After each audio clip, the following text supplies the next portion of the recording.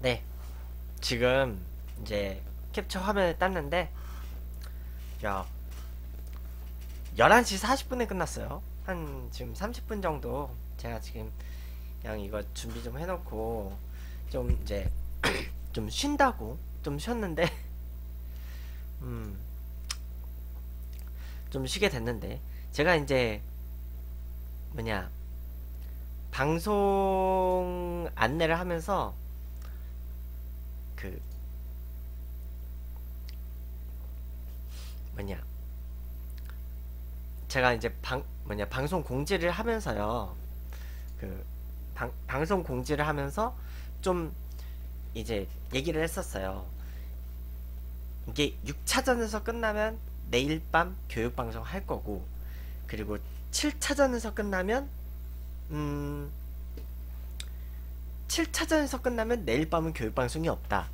약간 이런 그 이야기를 하려고 했었어요. 자, 이런 이야기를 하려고 했었는데 그 약간 그 근데 한국 시리즈가 6차전에서 끝나가지고 저는 내일 교육방송을 해야 이제 오늘이죠 오늘 날짜가 바뀌었기 때문에 교육방송을 해야 되는데 문제는 이게 연장 13일까지 가버려가지고 솔직히 좀 지금 약간 체력적으로 힘들어요. 아 그리고 한국 시리즈 MVP 한동민 선수 나왔네요. 음. 한동민 선수가 시리즈 MVP로 방금 예, 발표가 났고요. 자 근데 사, 솔직히 올 시즌 SK에서 가장 임팩트 있었던 인물은 트레이 힐만 감독이 아닐까? 2년 동안? 2년 계약했었죠? 힐만이 음 진짜 이번에 힐만 감독이 진짜 어떻게 보면 뭔가 하나 그냥 드라마 쓰고 가는 것 같은데 음 포스트 시즌 천적 관계를 청산하지 못한 두산 베어스. 음. 그리고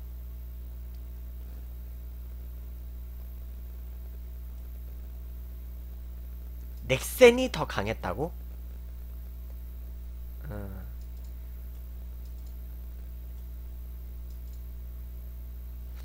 어쨌든 한번 좀 이번 한국 시리즈를 한번 좀 그냥 최종적으로 한번 좀 쫙 시리즈를 봐볼게요. 일단은 플레이오프까지는 제가 결산을 했었으니까. 음, 일단은 한국 시리즈 이번에 SK 와이번스가 KBO 리그 역사상 이제 단일 리그 기준으로 음, 업셋 우승을 달성을 했죠. 자, 업셋 우승은 KBO 리그 역사 단일 리그 역사상 역대 다섯 번째예요. 일단은 이제 해태 타이거즈가 안 알려져 있지만 업셋 우승이 한 번 있어요. 11번의 한국 시리즈 우, 그 타이거즈가 11번의 한국 시리즈 우승 중에 한 번이 업셋 우승이 있었어요. 정규 시즌 2위로 올라와서. 그래서 정규 시즌 2위로 이번에 한국 시리즈에서 우승한 거는 이번 SK 와이번스가 두 번째예요. 이번이 두 번째고요. 그 와이번스는 이게 팀 역사상 네 번째 한국 시리즈 우승을 달성을 했고요. 그리고 자, 이 코리안 시리즈 챔피언스. 음.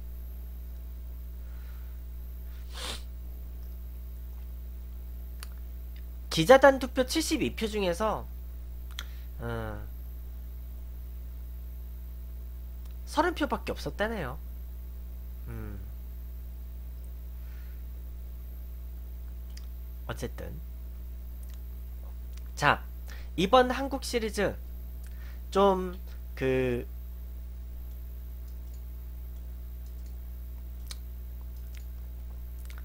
두산 베어스는 그 뭐냐 SK 와이번스하고의 역대 포스트 시즌 전적에서 특히 한국 시리즈에서 그 하필이면 이전까지 S 그 2007년, 2008년 때 한국 시리즈 때 SK한테 연패로 준우승을 했던 경험이 있었거든요.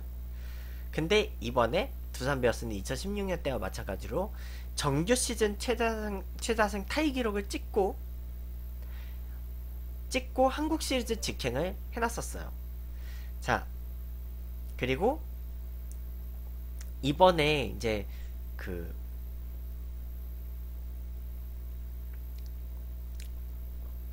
무려 정규 시즌 승차가 그 엄청 났었죠. 그,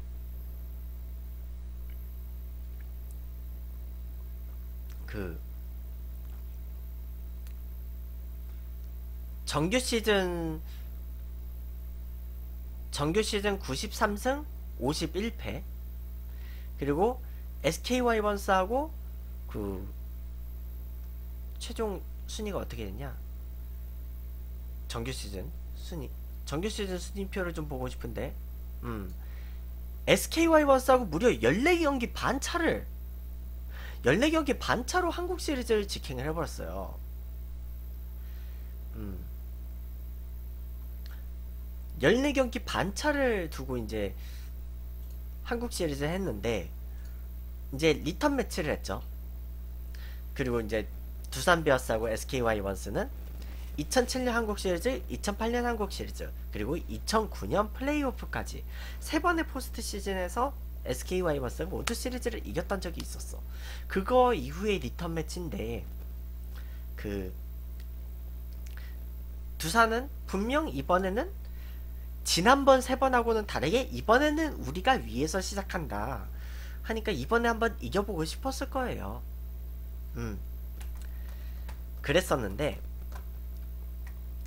문제는 이 두산 베어스가 한국 시리즈 준비를 하면서 물론 예전처럼 아예 그냥 14경기 반차로 정규 시즌 우승이 확정이 되고 나서 아예 그냥 다른 선수들을 이제 좀 주축 선수들을 그 따뜻한 미야자키로 보내가지고 준비를 시켰어요. 준비를 시작을 했었고 근데 거기서 이제 변수가 생겼죠. 필승조에 김강률 선수가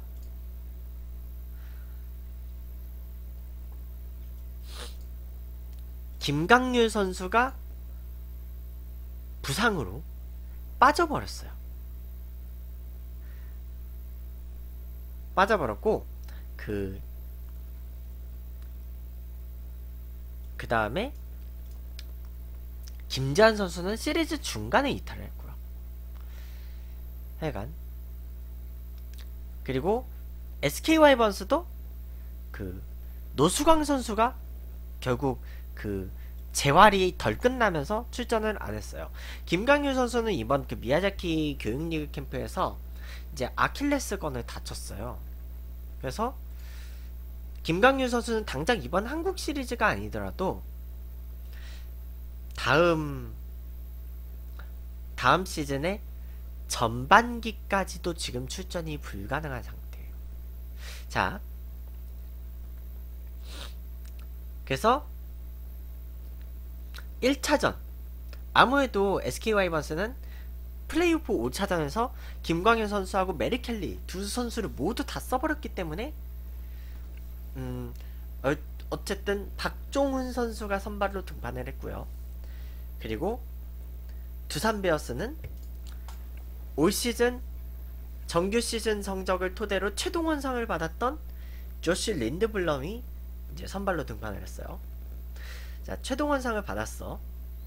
음, 린동원, 린드블럼이 선발로 등판을 했는데 문제는 던지기는 린드블럼이 잘 던졌었어요. 음. 일단은 정규 시즌의 승차가 14경기 반. 여러 가지 면에서는 두산이 분명 앞섰어요. 근데 문제는 그러니까 두산 팬들 입장에서는 그래 어차피 우승은 두산이다 약간 그런 얘기를 하고 있었는데 문제는 플레이오프 5차전에서 SK가 분위기를 타고 올라왔다는 거야. 이게 분위기가 무서운 거거든요. 그 그리고 정규 시즌 상대 전적은 그리고 두산하고 SK는 동일했어요. 그리고 두산은 결국 이 경기 감각 문제가 결국 돌아오지 못했어요. 음.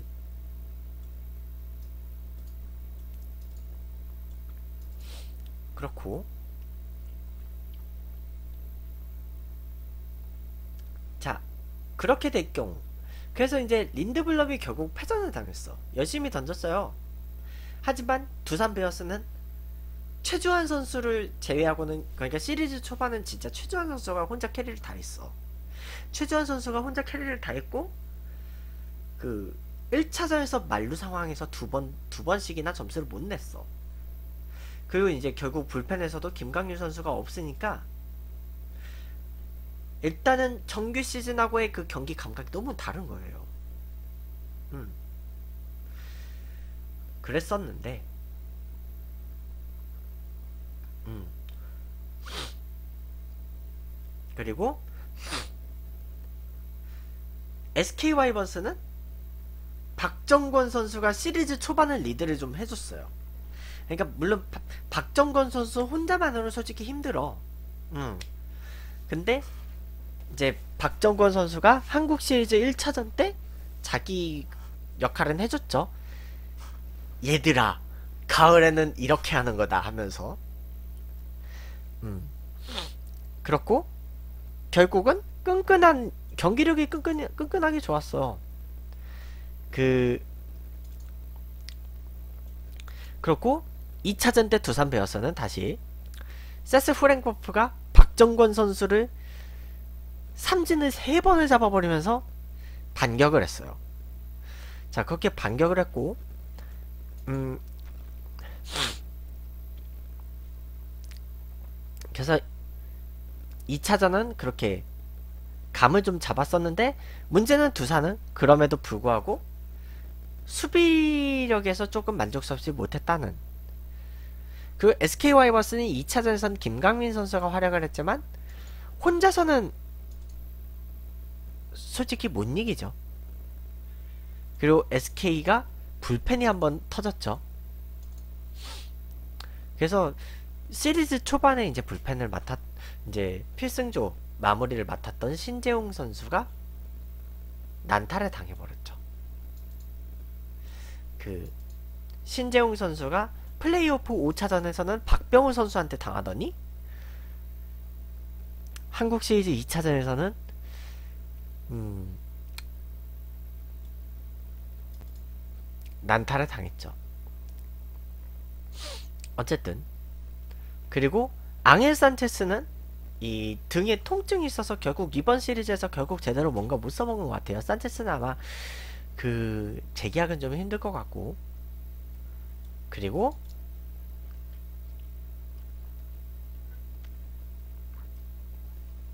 이번에 3차전에서 메리 켈리가 그 SK는 여태까지 한국 시리즈 3차전을 모두 이겼던 적이 있더. 그러니까 SK가 이번까지 그 한국 시리즈를 총 8번을 올라왔었잖아요. 2003년, 2007년, 2008년, 2009년, 그리고 2010년, 2011년, 2012년. 그리고 이번까지 한국 시리즈 총 8번의 한국 시리즈에서 3차전을 8번 다 이겼어요. 이번에 다 이겼어. 음. 그랬고요. 좀 그런 뭔가 조, 3차전에 좋은 기억이 있었어. 메리 켈리가 승리 투수가 됐었고요. 그리고 그 제이미 로맥의 엄청난 타점. 멀티 홈런 쳤죠 제이미 로맥. 그리고 메릴 켈리 퀄리티 스타트 플러스를 했어요. 음. 그렇고 그 김성현 선수는 하마터면 5회 초에 he dropped the ball을 또 한 번 시전을 할 뻔했는데 일단 경기를 이겼기 때문에 일단 그 책임을 안 물었고요 그리고 장원준 선수, 박건우 선수, 오재일 선수 3차전에서 패배의 요인이 됐었죠. 자 그렇고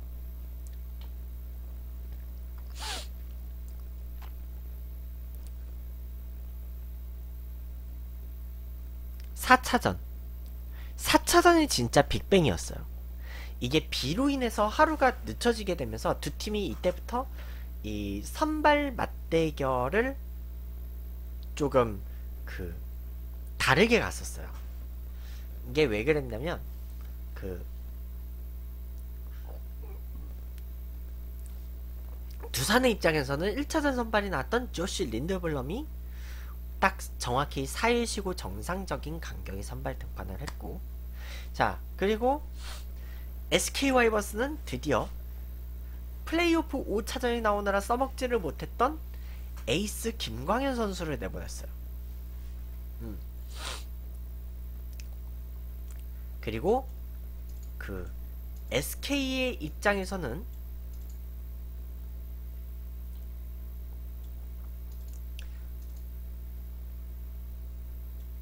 4차전을 못 잡아버렸어요. 김광현 선수는 분명 호투를 했는데 문제는 그 다음 투수인 앙헬 산체스가 김광현 선수 무실점했어 이번에. 응. 그래서 정수빈 선수한테 일격을 맞았죠. 앙헬 산체스. 결국 산체스는 이 경기 이후로 안 나왔던 것 같아. 응. 산체스 결국 안 나왔네. 아, 두 번, 5차전 나왔었네. 음. 나오긴 나왔었네. 5차전을. 근데, 1이닝만 던졌었네. 자. 근데 이제 5차전 같은 경우는, 그, 5차전에서 병살타 4개, 실책 2개, 그리고 득점권 무안타였어요.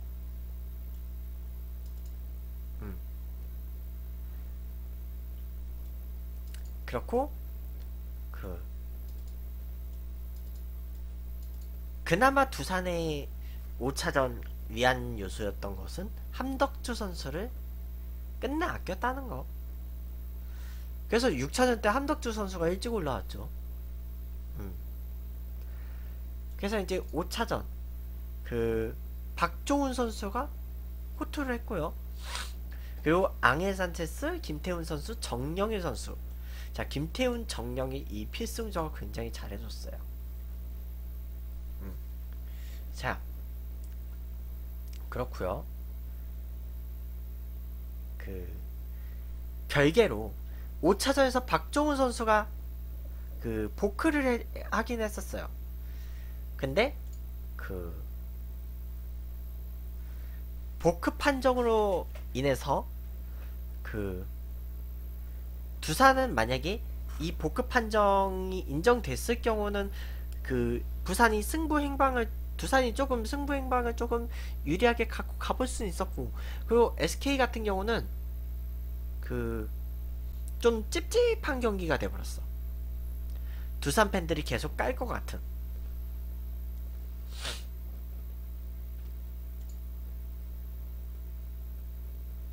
자, 그리고 아직까지 6차전에서 승패, 승패, 승패가 번갈아서 일어난 사례는 없었어요. 1996년 한국 시리즈가 지금 이번에 승패, 승패, 승승으로 끝났잖아요. 근데 그런 경우 있었어. 승승승, 패패패, 승은 있었어요. 7차전에서. 음.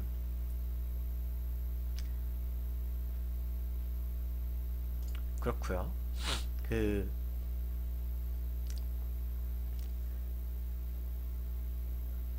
SK 와이번스는 그러니까 6차전은 진짜 총력전이었어요. 음.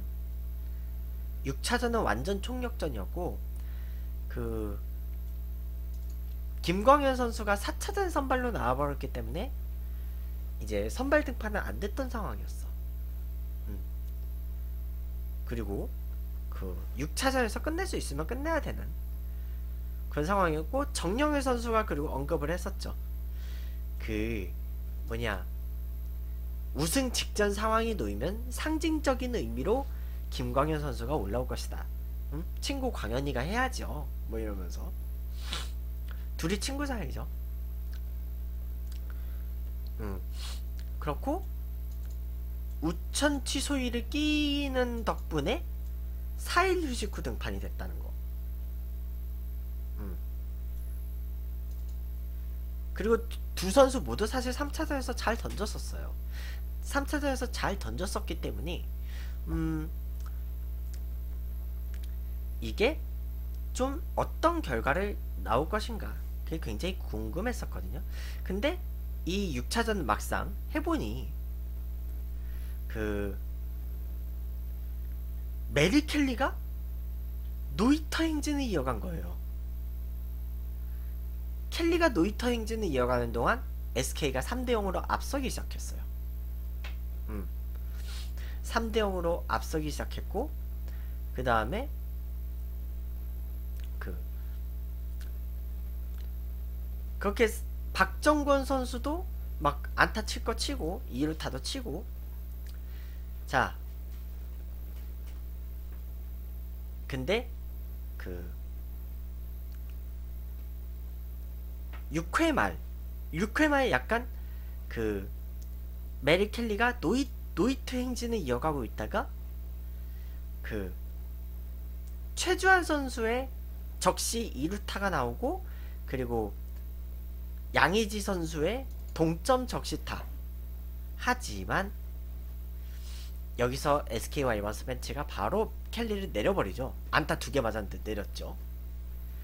음. 자 그렇고 박건우 선수 543 병살. 그래서 두산은 거기서 더 앞서갈 기회를 놓친 거예요. 그리고 8회 8회 말 정수빈 선수의 볼넷하고 최주환 선수의 적시 안타 그리고 양의지 선수의 희생 플라이. 그래서 점수가 역전이 됐어요. 자 그래서 이제 두산 베어스는 조시 린드블럼이 어떻게든 마무리를 하기 위해서 올라왔는데 첫 타자 두 번째 타자 KK KK 처리하면서 저도 그때 방송 제목에 이거 7차전 가나요? 라고 써놨는데 투아웃에서 최정 선수가 투 스트라이크 상황에서 이 7차전으로 가는 스트라이크 판정 하나를 남겨놓고 동점 솔로 홈런이 나왔어요.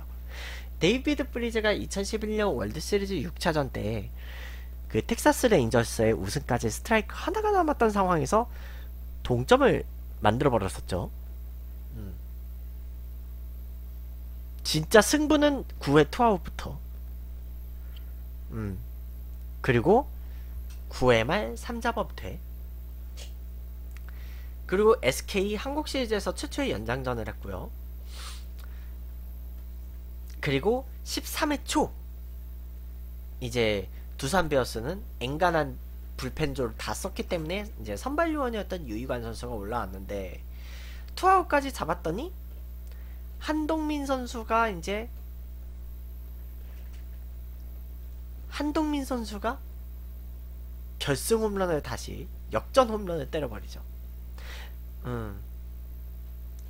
그 이제 두산은 어떻게든 따라붙으려고 했었으나 두산의 의욕을 상실시켜버린 13회 말 SK 와이번스는 여기서 시리즈를 끝내겠다는 의지로 에이스 김광현 선수를 올리죠. 보통 이게 포스트 시즌을 끝내는 포, 그 월드 시리즈, 한국 시리즈 이런 최종 시리즈를 끝내는 이닝에서는요. 이게 상징적인 의미로 에이스가 구, 마무리로 등판을 할 수가 있어요. 보통은 그 세이브 상황이 아니더라도 두 가지 경우에요. 그 한 시즌 동안 그래도 그 마, 마무리로 마무리 투수 역할 잘 해왔던 마무리 투수 세이브 상황이 아닌데도 올려주는 경우가 있고요. 아니면 에이스가 바로 전날에 나오지 않았던 이상 그 그래 시즌 개막전 선발을 보통 에이스한테 맡기니까 그래 올 한해 고생했으니까 에이스가 올라와서 끝내자. 음 그래서 에이스 김광현 선수가 13회 말에 어쩜 예상을 했어요. 왜냐면 정영일 선수가 연장전 상황에서 나왔었기 때문에 아니, 그 연장전 가기 전에 이미 정영일 선수가 나왔었기 때문에 음.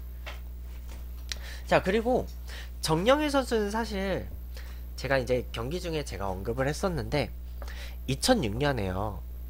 그 고다 고3 시절 때 그때 그 뭐 대회에서 그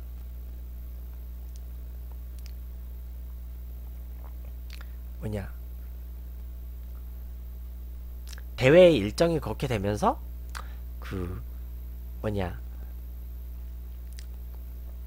대회 결승전에서 그 연장 승부 때 연장 승부 때 그 홈런을 맞았었잖아요. 혼자서 완투하다가 홈런 맞고 완투패 했었잖아요. 그, 그 뭐, 거의 뭐 200구 가까이 던졌던 그 역투를 했었는데, 음, 어쨌든, 그렇게 혼자 역투하다가 패전을 했고, 그 이후에 이제 정영일 선수가 에인저스를 계약을 했었잖아요. 그리고 그때 정영일 선수가 그 토미존 서저리를 받았어요, 결국은. 그래서 정영일 선수는 어떻게 보면 그 연장전 등판이 좀 그 트라우마로 좀 남았을 수도 있었을 텐데 그 트라우마로 남았을 수도 있었을 테지만 근데 정영일 선수가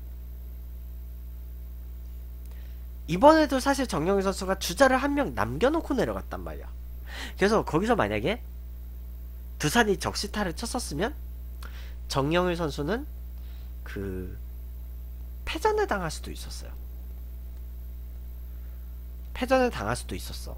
근데 그 이번에 정영일 선수는 이번에 그 뒤에 나왔던 그 투수가 이제 김택형 선수가 등판을 해가지고 그 두산이 하필이면 최재환 선수가 빠져버린 거야. 그래서 그 정영일 선수의 책임 주자가 들어오지를 않, 않게 되면서 그 허경민 선수였죠. 그래서 정영일 선수는 이제 김택형 선수의 도움으로 일단은 그 연장전 트라우마는 씻어내게 됐어요. 음. 자 그리고 김광현 선수 김광현 선수가 양희지 선수한테 던졌던 공은 시속 153, 153, 154km까지 나오면서 3구 삼진을 잡아버리죠. 그리고 박건우 선수 슬라이더 변화구로 삼진 잡으면서 1이닝 세이브. 음. 결국 에이스의 세이브. 정말 그 8회에 뒤, 뒤집혔는데 9회에 동점으로 연장전을 가고 연장에서 역전하면서 업셋. 어. 정말 9회 투아웃부터 야구했던 SK였어요. 음. 그리고 결국은 결승 타점을 때렸던 한동빈 선수가 한국 시리즈 MVP가 됐는데 이번에 한국 시리즈 MVP는 기자단 투표 72명 중에 한동민 선수가 30표밖에 못 얻었대요. 음, 그러니까 이번에 솔직히 그렇게 누군가 특출난 활약은 없었던 거야. 좀 골고루 미친 선수들이 있었다는 거죠. 음.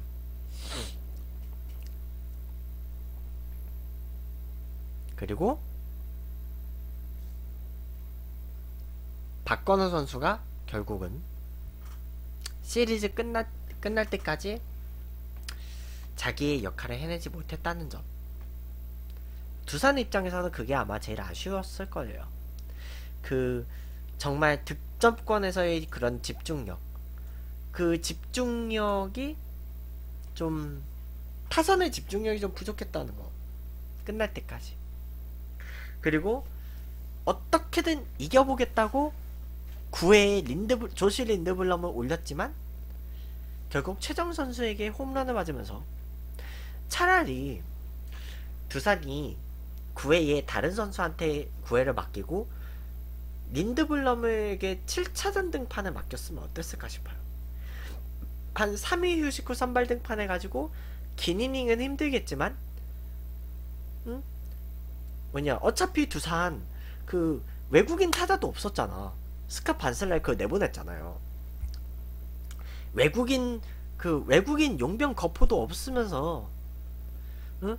차라리 그러면 7차전 때 린드블럼하고 프랭코프하고 린, 린드블럼하고 프랭코프 두 명을 치- 그냥 7차전 했다 둘 다 투입했었으면 어땠을까 싶었어요. 저는 9회 그 이번 9회 때 그렇게 생각을 했었거든요. 차라리 두산 두산이 한 경기 우승까지 한 경기를 7차전까지 해야 되는 상황이었는데 6차전에 너무 많은 거를 걸어버린 거야. 그래가지고 6차전에 무슨 7차전인 듯냥 7차전인 양 린드블럼을 올려버려가지고 그러니까 제 생각은 그랬던 거예요. 린드블럼이 3위 휴식하고 7차전 선발 나오고 그리고 두 번째 투수로 프랭코프가 데뷔, 대기했었으면 어땠을까? 그럴 수 있었거든요, 충분히. 음. 하지만 그게 오, 오히려 두산의 경기 운영을 꼬이, 꼬이게 만드는 당장 7차전 선발 어떡하나요? 약간 이런 얘기가 나올 정도까지 그렇게 됐고요. 자, 그 다음에 이제 SK 결국 문승원 선수 나왔었어요. 문승원 선수가 승리 투수가 됐죠. 원래 7차전 선발 나올 것 같았는데 결국 6차전에서 승리 투수가 됐고 그리고 김광현 선수가 세이브를 했고요. 그리고 유희관 선수는 2013년 때 한국 시리즈 7차전 패전 투수였었는데 음, 이번에도 패전 투수가 돼버렸네요. 그렇고 그래서 총평 역시 SK 와이번스의 그 가을 야구 유전자는 정말 무시할 수가 없었구나. 메이저리그의 가을 좀비로 세인트루이스 카디너스가 있죠. 근데 이 KBO 리그의 가을 좀비는 정말 SK 와이번스 것 같아. 어. SK가 진짜 가을 야구에는 좀비인 것 같아. 어. 물론 2015년 와일드카드 결정전에서는 그 김 뭐냐 김성현 선수의 그 he drop the ball로 끝나버렸지만 자 어쨌든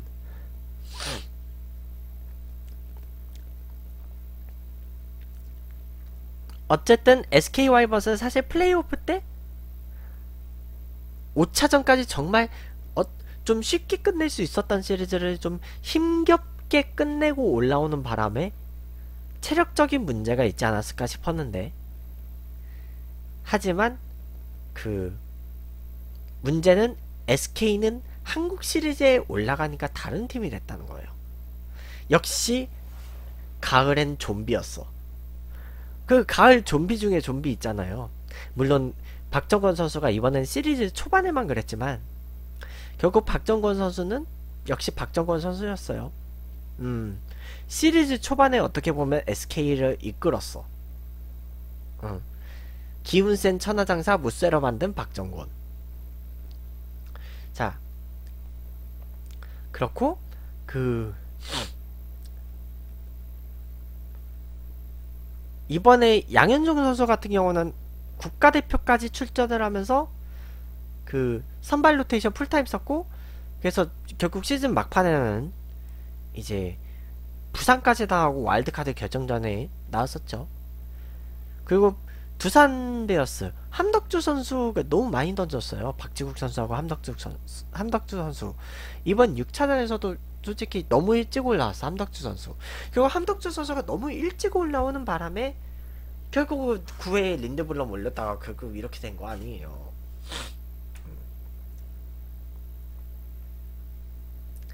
근데 오히려 김광현 선수를 굉장히 올해 너무 엄청나게 관리를 해준 결과 물론 김광현 선수는 올해 관리가 필요했던 이유가 있었죠. 토미존 서저리를 받은 첫 시즌이었기 때문에 이 팔꿈치를 좀 그 느슨하게 좀 해줄 필요가 있었어. 그래서 중간중간에 김광현 선수한테는 좀 휴식을 많이 줬었어요. 그리고 건강하게 돌아왔던 김광현 선수는 3일 그 4차전에서 이동일 5차전 이틀 이틀 쉬고 나왔음에도 불구하고 이틀 쉬고 나왔는데 구속이 최고 최고 구속이 시속 154km. 김광현 선수는 어떻게 보면 이 시속 154km가 나왔던 이유는 일단 두 가지예요. 첫 번째, 올해는 안 아프거든. 올해는 안 아팠잖아요. 건강한 건강했던 김광현 선수 그리고 두 번째 김광현 선수에게 엄청난 동기부여가 됐던 한국 시리즈잖아요. 자기가 부상으로 돌아왔고 자기도 오랜만에 한국 시리즈에 출전을 했고 그 자기가 어떻게든 끝내고 싶었던 거야. 에이스로서의 책임감이죠. 음. 그렇고 결국 이번 한국 시리즈를 통해서 SK 와이버스는 두산과의 포스트 시즌 상대 전적 4전 전승을 이어가게 됐어요. 음. 어떻게 보면 이번 한국 시리즈보다도 어떻게 보면 플레이오프가 좀 더 좀 더 박진감 넘치는 시리즈이지 않았을까 싶어요. 물론 그쪽도 이제 5차전에서 그 9회 그 박병호 선수가 동점 홈런을 때리면서 연장 승부를 갖고 가긴 했었지만요. 음.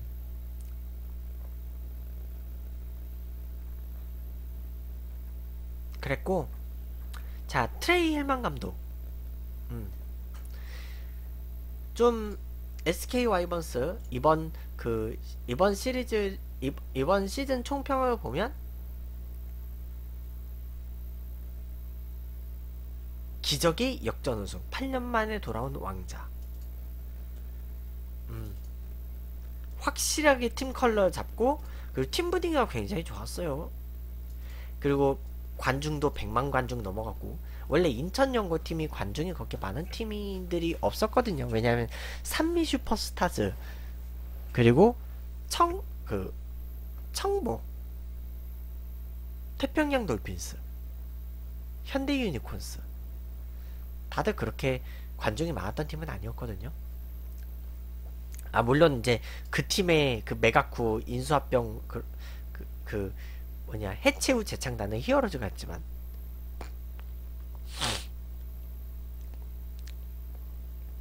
그리고 음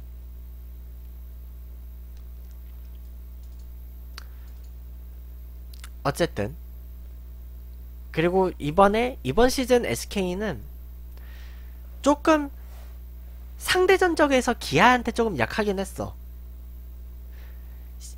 기아 타이거즈하고 상대 전적이 올해 5승 11패로 안 좋았거든요. 광주에서는 2승 6패, 인천에서는 3승 5패. 그랬고요. 그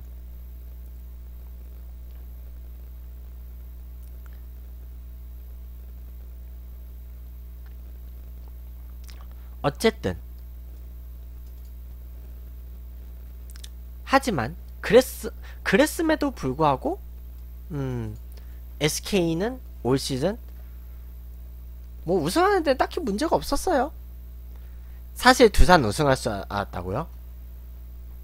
아 근데 사실 저는 이번 한국 시리즈 시작할 때부터 제가 그 앞에서 얘기했듯이 이번에 그 SK가 우승할 줄 알았어요.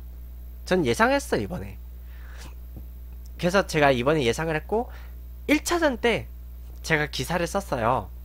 1차전 때 기사 썼을 때 이런 이런 점 때문에 SK가 이번에 업셋을 할 것 같다. 라고 언급을 했는데 진짜 업셋을 했네. 그런 요소들 때문에. 음. 그리고 그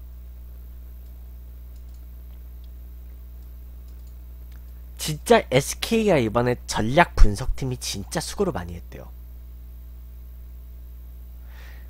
그렇고 그 김강민 선수, 박정권 선수, 그리고 뭐 김태훈 선수, 정영일 선수, 문승원 선수, 그리고 메리 켈리, 김광현 선수, 제이미 로맥 되게 선수들이 이번에 골고루 활약을 해줬어요. 음. 그래서 진짜 이번에 진짜 강, 강한 팀은 SK였구나. 두산은 정규 시즌이었고 진짜 시즌 전체적으로 강한 팀은 올해는 SK였구나. 약간 그런 느낌을 보여줬던 것 같아. 어쨌든 SK 와이버스는 이번에 이렇게 우승을 했고요. 아니야 빛이 바라진 않았어 어떻게 보면 그냥 질 순 없다 이런 거잖아 아, 소프트, 소프트뱅크 호크스 팬이셨어요? 그 감격 저도 느껴보고 싶네요. 아, 그리고, 자. 아, 매번 우승이었다고?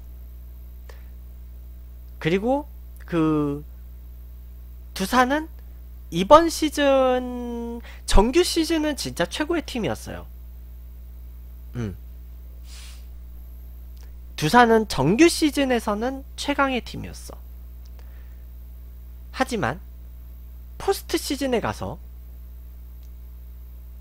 음 일본에서 전지 훈련을 했는데 그 변수가 있었죠. 음.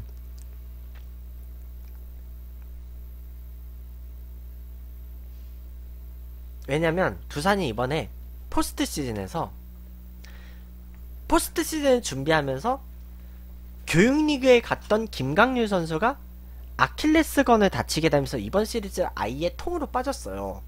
아예 로스터에도 못 들어갔어요. 그러니까 그 김강률 선수는 내년 전반기에도 못 나와요. 내년 전반기에도 못 나오고 그 한덕주 선수가 그래서 이번에 너무 무리를 많이 했어. 음. 그리고 그 타선이 이게 너무 오래 쉬어도 문제 문제는 문제야 결국은 이게 감각이 안 와요. 음. 그렇고 그, 그 김강률 선수의 공백을 이현승 선수, 장원준 선수 등으로 메우려고 했지만 근데 이현승 선수는 아까 경기 보니까 잘하긴 했어요. 이현승 선수는 잘했어. 보니까. 근데 그 이영하 선수가 이영하 선수가 원래 그 승부조작 제의를 받았다는 그 전화를 받았을 때 이영하 선수는 그 유혹에 넘어가지 않고 자진 신고를 했잖아요. 그거는 굉장히 잘했어요. 음. 지금 그거는 그 뭐냐 이영하 선수 개인의 태도는 굉장히 잘한 일이에요. 응. 이영하 선수가 확실히 인성은 좋았어. 인성 좋았고 그 꾸준히 활약을 했기 때문에 올해 원래 한국 시리즈 4차전 선발 올라가려고 했는데 비로 하루씩 미뤄지면서 그 조시린드 블럼이 4차전에 나왔었죠. 그래서 이영하 선수는 그 이후로 시리즈 후반부에는 이제 필승조로 갔었고 그 김태형 감독이 이제 2년 연속 준우승을 했으니까 선수들이 너무 고생했다. 아픈 거 참았는데 결과 안 좋았다. 어? 팬들한테 죄송하다. 책임은 감독이 지는 거다. 잘 준비해서 정상을 보겠다. 김태형 감독은 내년까지 계약이죠. 근데 제가 보기에는요. 김태형 감독이 계속해서 정규 시즌에서 지금 좋은 성적을 올리고 있기 때문에 내년에 폭삭 망하지만 않는 이상 재계약은 할 것 같아요. 응. 김태형 감독은. 그러니까 내년에 뭔가 그, 그 프런트하고 뭔가 사이만 안 좋으면 재계약은 할 것 같아. 김태형 감독은. 그, 김태형 감독이 하는 말이 잔부상들이 다 있었다. 샤워할 때 보면 다들 온몸에 테이프를 감아놨다. 어? 아쉽다 막 그런 얘기들을 하더라고요.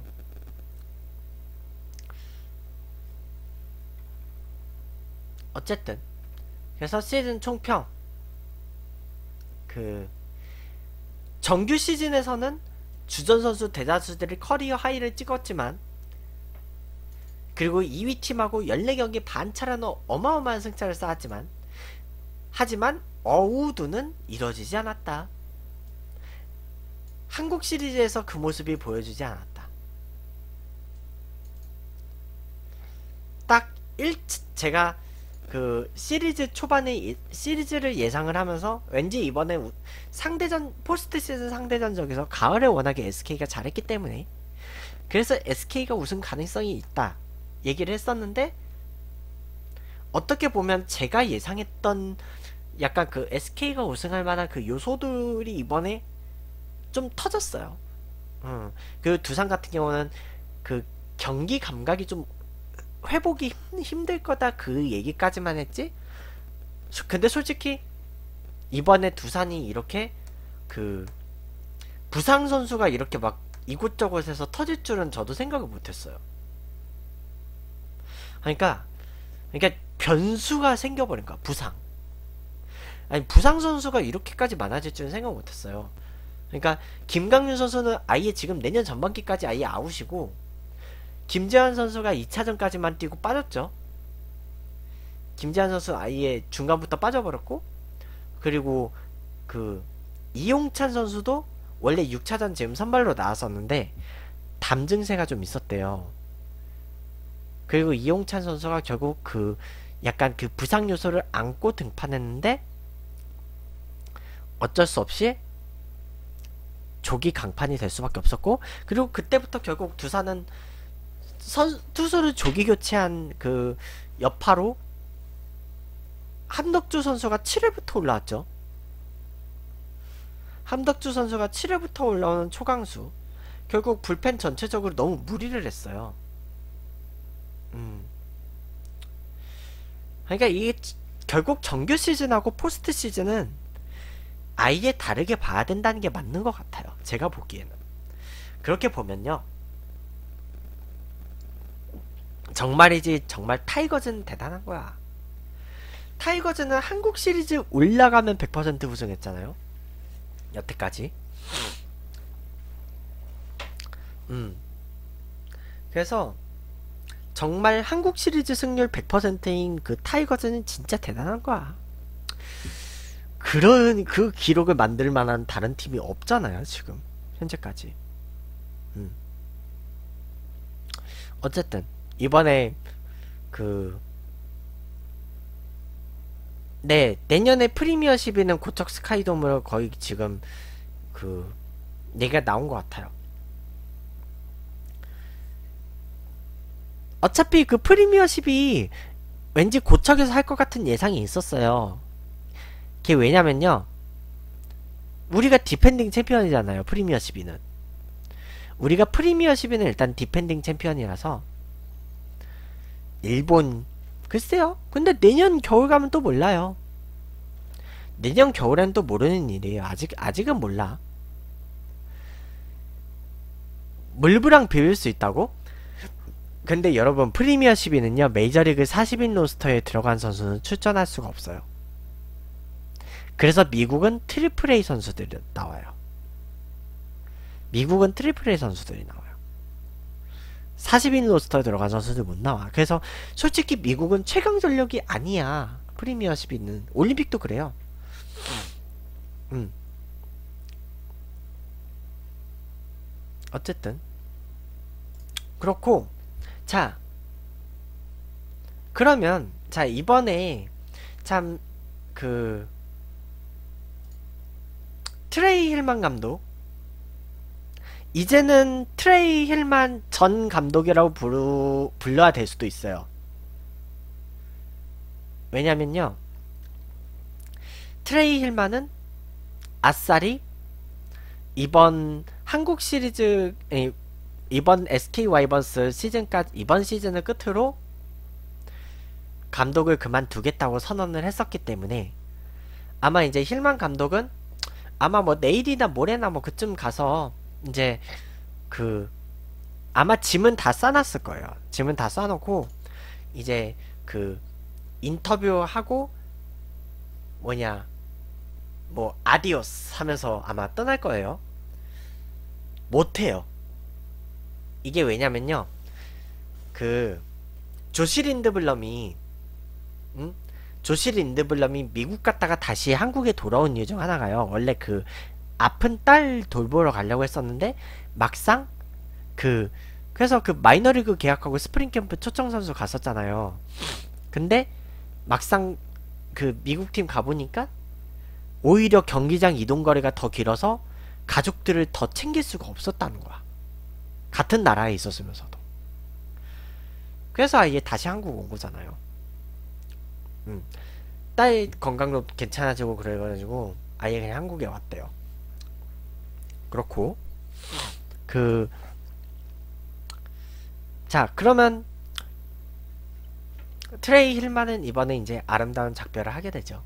자, 그러면 이번 파트는 여기서 잠깐 정지를 시키고 제가 다음 파트에서 이제 그 트레이 힐만 감독의 그런 프로필을 한번 좀 쫙 한번 정리를 좀 해보는 시간을 갖도록 하겠어요.